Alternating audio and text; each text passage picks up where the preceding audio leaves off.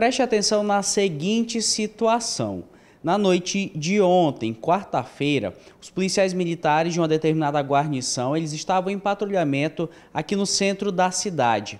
Ocorre que em determinado momento, no período noturno, eles viram um homem, um homem que estava fardado e na farda indicava que ele seria guarda do calçadão. Mas os policiais ficaram encucados com aquilo, não entenderam que guarda seria esse? Resolveram fazer uma abordagem. No momento em que eles se aproximaram, o homem tentou fugir, tentou esconder um objeto, mas os policiais conseguiram alcançá-lo. Foi nesse momento em que foi encontrado um revólver com esse homem. Acontece que ele informou que também teria um outro colega, um outro homem que estaria trabalhando em outro ponto da cidade.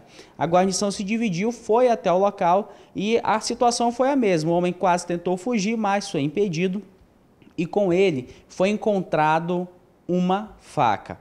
Até aí, até parece que está tudo bem.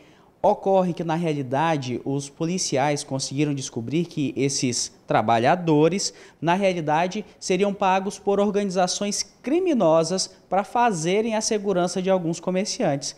Eu estou aqui no Ministério Público ao lado do promotor Rodrigo Curti, porque essa situação é muito mais grave do que ela parece ser.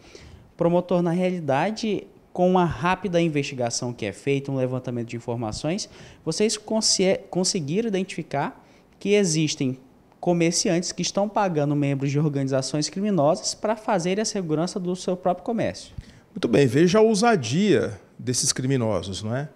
Estavam fazendo, prestando serviço de segurança no calçadão, é, devidamente uniformizados, portando armas de fogo de forma ilegal, e no momento da abordagem policial, em entrevista, os policiais militares relataram não é, que estariam prestando um serviço para uma determinada facção e que os comerciantes estariam do centro, ali no calçadão, pagando por este serviço. É? E tudo isso foi identificado na audiência de custódia, onde fizemos algumas perguntas e o, o flagranteado não soube responder, e ficou muito claro é, que se trata aí de atuação do crime organizado é uma suspeita. Essa suspeita, eu quero deixar muito claro que é a, é a primeira materialização dessa suspeita que nós já tínhamos aqui na Promotoria de Segurança Pública e através das custódias, porque esta informação de que membros de facção criminosa, de determinada facção criminosa, estava exercendo o trabalho de vigilância ali no calçadão para comerciantes no centro do calçadão, é a primeira materialização. Essa suspeita ela já vem de um longo tempo.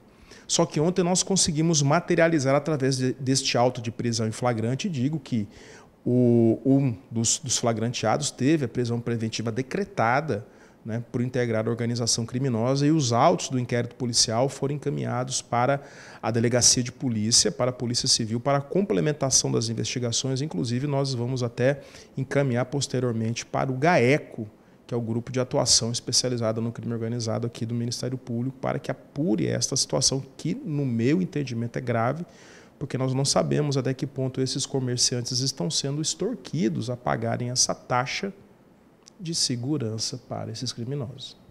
A dúvida é exatamente essa, promotor. Vocês conseguiram, pelo menos claro, são poucas horas após essa situação, mas identificar, eles pagam, os comerciantes pagam de livre e espontânea vontade, existe uma coação ou é um fato ainda que vocês estão analisando e investigando? Muito bem, tudo isso é objeto, creio, né, e faço voto de que isso seja, seja objeto da investigação por parte da polícia e também do nosso grupo especializado do crime organizado, para que a gente possa conter essas atividades ainda no início. Porque é inadmissível que determinado grupo criminoso exerça funções do Estado prestando segurança pública para comerciantes. É, isso é inadmissível, é inimaginável essa situação é, que chega à, à, beira do absurdo.